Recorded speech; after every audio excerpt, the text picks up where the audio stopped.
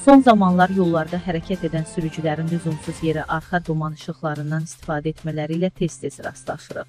Ölkə TV Avtosfer Azastinadən xəbər verir ki, bəzi sürücülər isə arxa duman fənərlərini stop işıqlarına qoşaraq konstruksiyaya müdaxilə edirlər. Hər iki halda qanunun tələbinin pozulması ilə yanaşı, həm də digər hərəkət iştirakçılarının gözünün qamaşması ilə nəticələnir. Yol hərəkəti haqqında qanunda qeyd olunub ki, arxa duman fənərləri yalnız məhdudiyyətli görünmə şəraitində yandırıla bilər. Yolda belə şərait olmadığı halda həmin fənərləri yandıran sürücülər 30 manat məbləğində cərimə oluna bilər.